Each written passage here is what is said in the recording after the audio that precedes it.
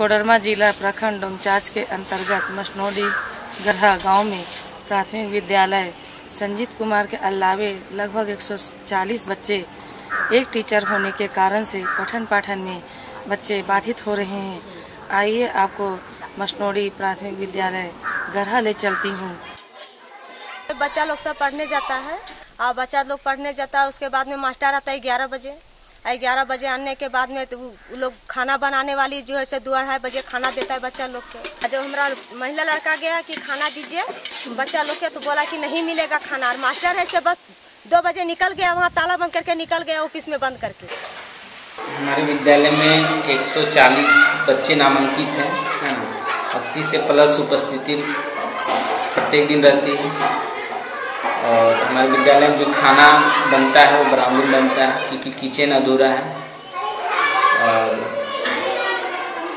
और बाहर में बकरियाँ चरती है, बच्चे खाते हैं, खाने में बच्चे का खाना जुठा देता है इससे बच्चे को परेशानी भी होता है। कोई बच्चे खाते, आधा खाना खाते ही मतलब छोड़ देना पड़ता है, उसको फेंक देना पड़ता है।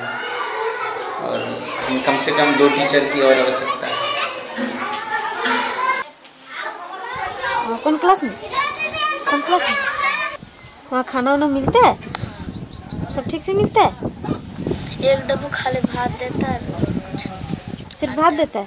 दाल और और सब्ज़ी वब्जी सब्ज़ी देता है। मैं जानती हूँ प्रखंड विकास पदाधिकारी उनका नाम नारायण ठाकुर। यही वीडियो में बदलाव ला सकते हैं। इनका मोबाइल नंबर पर कॉल कर दबाव बनाएँ ताकि जल्द से जल्द विद्यालय में दो टीचर की बहाली हो, बाउंड्री हो और टूटा हुआ शौचालय, अधूरा किचन, स्कूल का भवन मरम्मती हो और ताकि बच्चों को कठिनाइयों का सामना ना करना पड़े और बच्चों को उचित शिक्षा मिल सके।